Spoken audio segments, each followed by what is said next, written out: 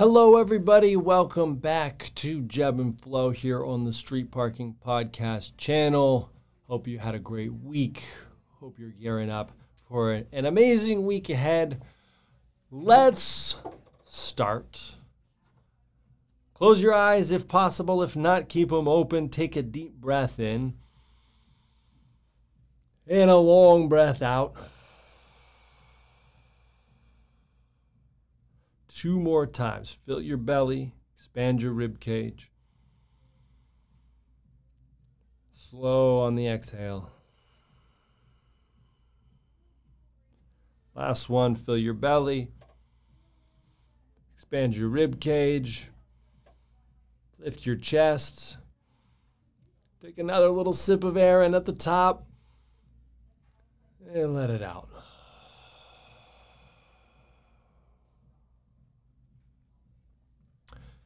And here we are. Good to have you.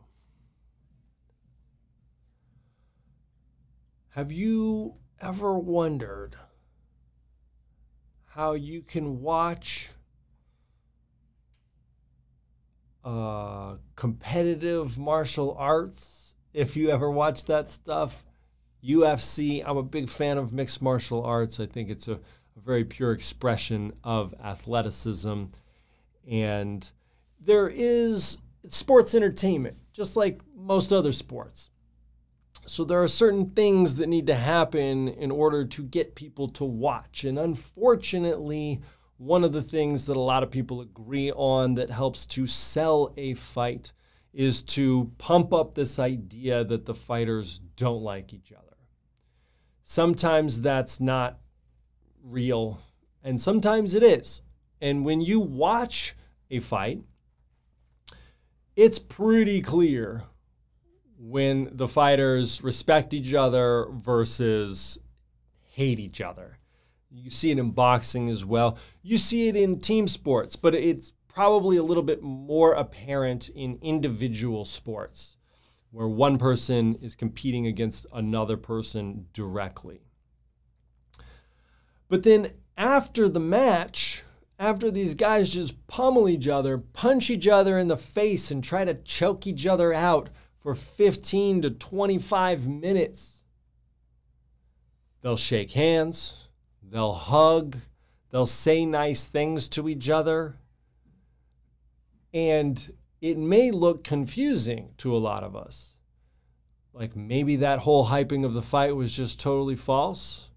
More likely, they respect each other a lot more and they appreciate what their opponent has done for them, which is allowed them to grow and to get better and to get closer to the best version of themselves that they can get to. I hate to say that politicians do it because I don't, you know, it's hard to trust anything from those fools. But uh, and, and these days, I think politics is a lot different than maybe they were 20 years ago. But you'll see a debate right between two politicians, and they'll just say really terrible things to each other and about each other, and try to tarnish each other's character and tell them that they're unfit for office and completely incompetent. And then when it's over, they shake hands, they smile, you know, they get some photos, whatnot. If one politician wins a campaign over another, they'll call and congratulate their opponent for running a good campaign or for winning the election and that kind of thing. Again, could just be posturing, could just be something that politicians do to save face, but it could also be some sort of appreciation for their opponent, bringing out the best in them, provided they did run a sound campaign. Now, what if you're competing with yourself? How might that look different? Or what if you're competing with somebody that doesn't know you're competing against them? How might that look different? And what is this thing competition? I've talked about it before. We're going to revisit it real quick.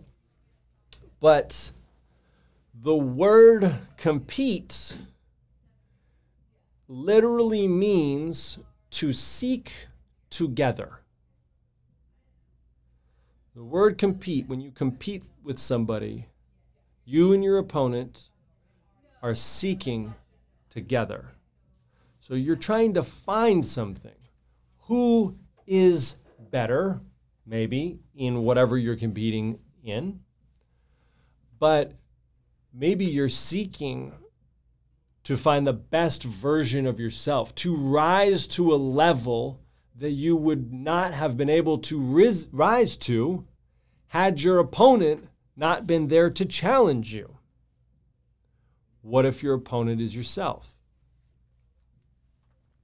So you cannot dislike your opponent if after a hard fought competition against them, win or lose, they brought out the best in you. You were able to perform better than you ever have before because they brought that out of you.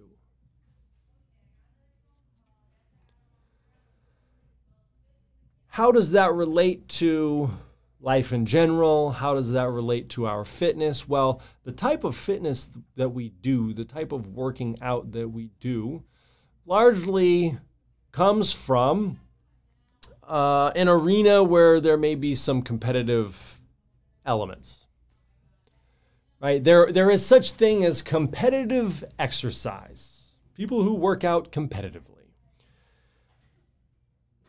Unfortunately, that spirit of competition has seeped its way into the recreational competitive exerciser that's training you know, one hour a day or less, 30 minutes a day, but training like they're trying to compete at the highest level, or not recognizing that maybe this isn't a competition, or not recognizing that maybe our ultimate opponent is ourselves, and it's not about trying to destroy ourselves in one training session so that we can say that we beat somebody else? What if it's just training? What if it's just practice? Don't let your workouts tell you how fit you are. That might sound like a very strange request from me. But 90% of the time, your workout should not be something that tells you how fit you are. It is not an assessment. It is not a test of your ability or your skills. It's an opportunity to get better. It's an opportunity to learn and to grow. Now, that other 10%, sure, use that as the assessment. Use that as a test of your fitness, a test of your ability. But if you show up every day thinking that you are testing and assessing your ability and allowing your livelihood to be affected by the outcome of said daily test, you're setting yourself up for a lot of discouragement and honestly, a lack of fitness. So allow your opponent, yourself, to bring out the best in you by choosing to grow and to get better and use your workouts as an opportunity to do that. So they've done studies. This kind of goes back to like the fixed mindset versus the growth mindset, where they took a bunch of MBA students and they gave them a task, they gave them a project. Two different groups, the exact same project for each group. However, one group was told this is an assessment to test your skills and abilities. and the other group was told this is an opportunity to learn, to learn new skills, to get better at the skills that you have, to grow. So you can guess what happened. The group that was told that this was an opportunity to get better and to practice, they outperformed the other group. So they actually did a better job on the project than the other group. They had more fun, they experienced less stress, and they, um, they had an overall sense of positive outcome which led to a positive attitude throughout that process and beyond. I think that's a very, very important idea to bring into our training, our physical training, our nutrition, our sleep.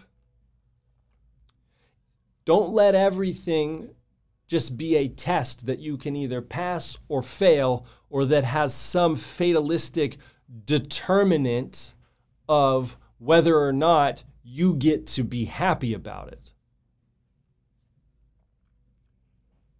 Just use it as an opportunity to get better. That's really hard.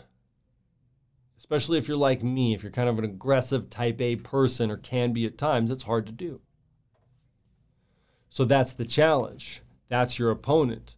Allow your opponent to bring out the best in you?